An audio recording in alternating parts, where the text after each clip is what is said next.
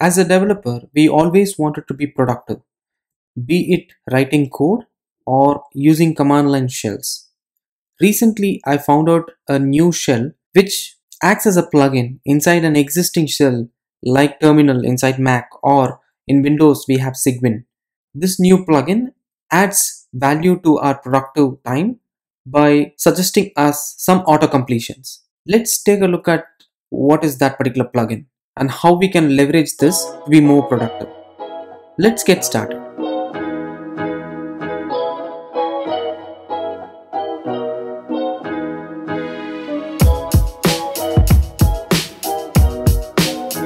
Press the bell icon on the YouTube app and never miss any update from Tech Primers.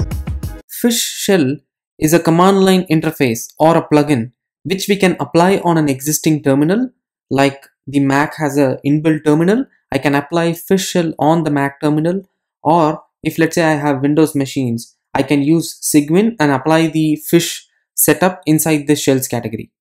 Similar way if you have Linux if you have different flavors of Linux you can download the fish shell and leverage fish shell to be more productive.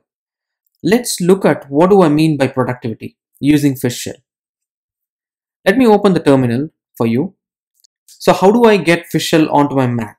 So if you're using a Mac and if you're using Homebrew, you can do brew install fish shell. And if you notice that there is something automatically getting suggested and that is what fish shell does. Fish shell helps you in automatically suggesting what you need to type after a particular text, whatever you have entered. For example, the moment I say CLE, it says AR. The moment I say tab, it automatically auto-completes.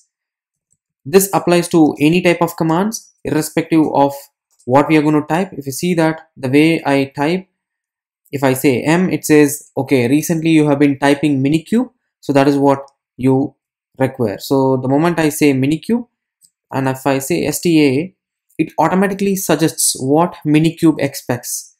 It could be either start or status or stop. If I do a st and then say stop, it, it in fact even shows what the command does. So I'm going to say status. So this just shows what is the status of my minikube, right? Same with any command. So if you, for example, I have been using kubectl to get the pod information, service information, see that it automatically suggests what I need to type. As a developer, I feel this is one of the major advantages of Fish Shell because I don't want to remember any commands. So if you are creating demos for clients and if you're showing demos for people and if you have a cool shell like Fish Shell, it's going to help you in being productive and it makes your life easier by suggesting you what you need to type and it also says what you have done incorrectly as well.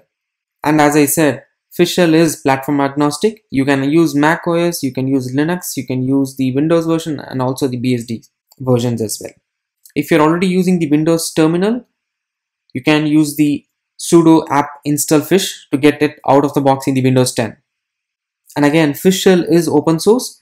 The source code for Fish Shell is present in github.com slash Fish Shell, and that is an organization and under that you can have a Fish Shell repository.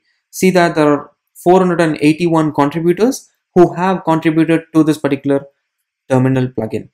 I recently found out that this particular plugin is going to help me a lot and I have installed it today and I'm going to play around with Fishshell and you're going to see all my videos with Fishshell in it.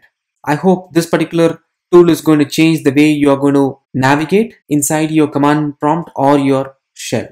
I hope you found this particular video interesting as always, if you like the video, go ahead and like it. If you haven't subscribed to the channel, go ahead and subscribe to it. Meet you again in the next video. Thank you very much.